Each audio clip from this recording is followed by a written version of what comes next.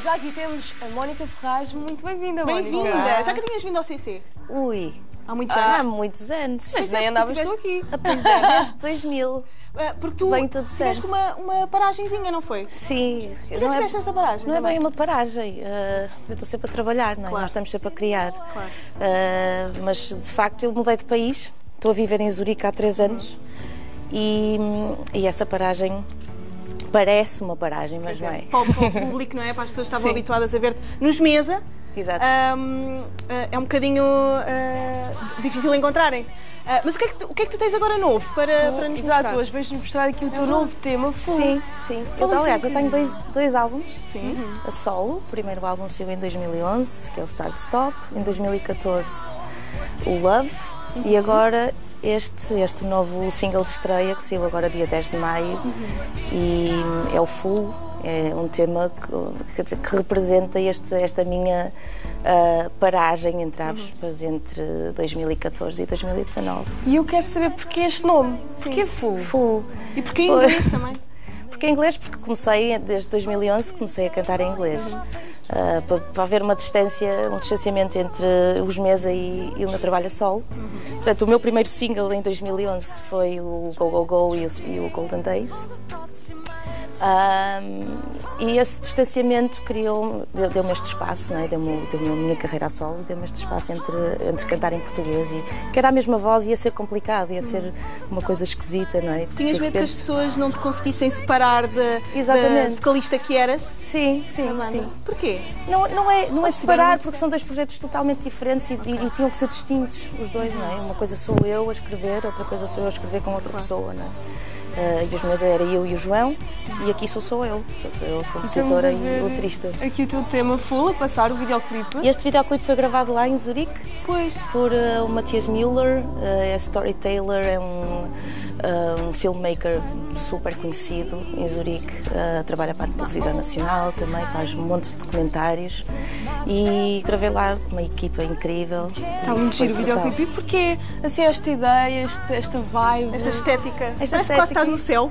Ah, isto não é bem, isto é bem, isto é mais um revolucionário. revolta, isto é- exato. Full trata de, um- de um- uma, de uma canção que entre- fala de um casal que se Uhum. separou, portanto era uma coisa muito bonita e de repente separou-se. E daí o stick, e daí Uhum. o partir uma jarra com flores, que é quase como, uma, como um chamado de atenção quando tu te revoltas e tens um heartbreak, não é?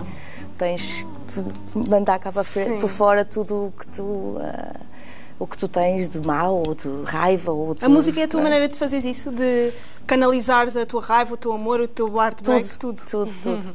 Sim, eu, basicamente eu escrevo muito sobre, sobre coração, sobre tudo o que envolve, porque eu sou uma pessoa de muito de coração e sou uma pessoa que segue o coração e, portanto, faço isso. yeah. O que é que vais ter um álbum novo agora em breve? Em novembro.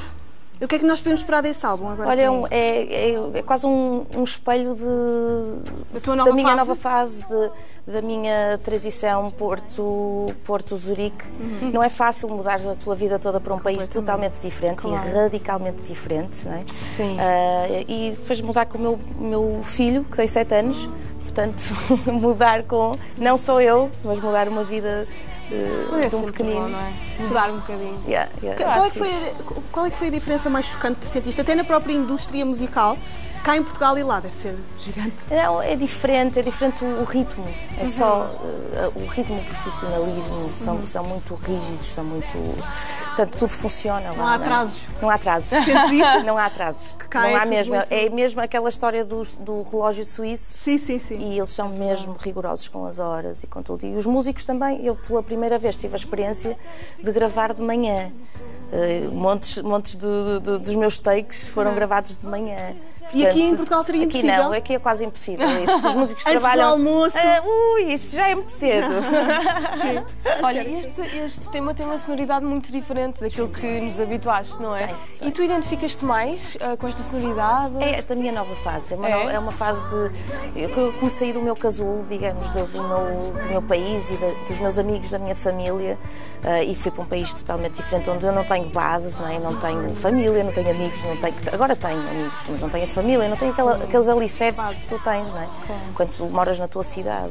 Uh, comecei, isto é, é, é, quase como um, como um amadurecimento, não é? enriquece-te, transforma-te numa outra pessoa mais segura, mais capaz de fazer.